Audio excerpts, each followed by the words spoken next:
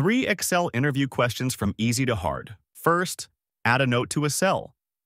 Select the cell where you want to add a note, then press Shift plus F2.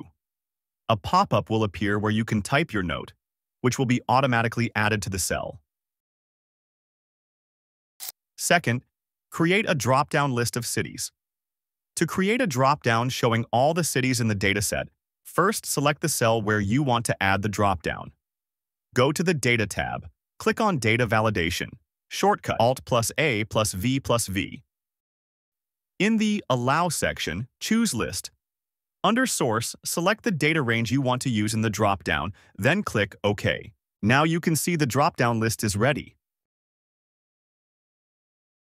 Third, find duplicate names between two lists. To find duplicated names, select all the data. Go to Conditional Formatting, then select Highlight Cells Rules and choose Duplicate Values. Click OK. The practice file link is available in the description. Like and follow for daily tips.